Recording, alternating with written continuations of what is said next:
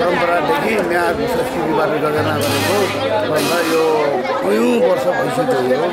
अहिले हालसाल अहिले हामीले यहाँ बाबु बजारमा रोपाई नाच सबै तरिका साथ सधैँ नाचिन्छ यो? सरी वर्षै पछि हुन्छ। खासमा स्पेसल के हो यसमा? यसको पेसा भनेको एउटा संस्कृति जगेरा गर्ने अनि संस्थालाई सहयोग गर्ने उठाएको रकम सहयोग गर्ने। यो के कारणले चलेको यो नाच भन्ने त किन यो नाच सबभन्दा पहिला हाम्रो न्यारको के अरे मरेको हुन्छ मरेको निकाल्दाखेरि त्योबाट सुरु भयो।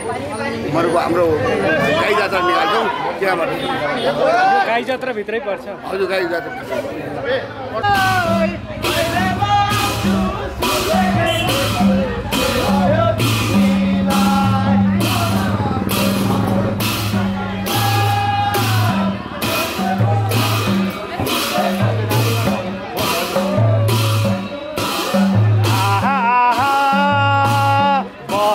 차야 뒷발을 차야 바람과